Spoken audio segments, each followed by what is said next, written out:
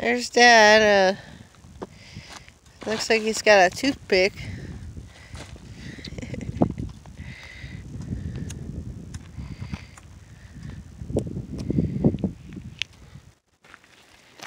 yeah.